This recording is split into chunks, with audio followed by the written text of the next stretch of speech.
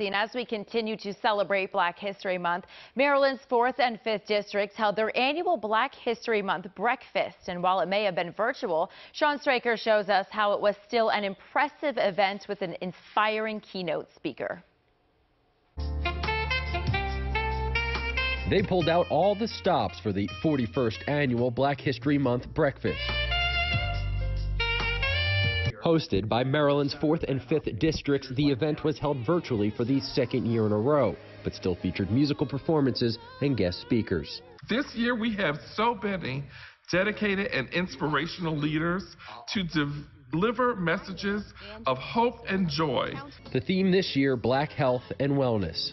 This theme explores the legacy of black scholars and medical practitioners. And this year's keynote speaker, Dr. Kizzmekia Corbett, a viral immunologist who played a key role in developing COVID-19 vaccines. I have grown to become invested in the health and the wellness of all people, but especially those who are oftentimes excluded from access and opportunities that afford them equal health and also, at the end of the day, equal wealth. Dr. Corbett spoke about her time at UMBC and why she's so passionate about vaccines. A lot of people always ask me, why vaccines?